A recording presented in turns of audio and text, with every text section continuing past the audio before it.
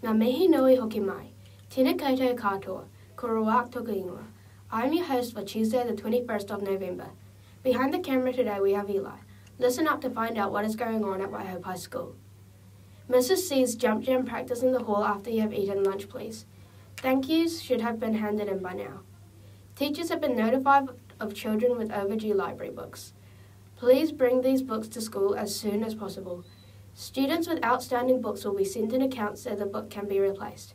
We would prefer not to do this, so please help by having a real good look for any overdue books.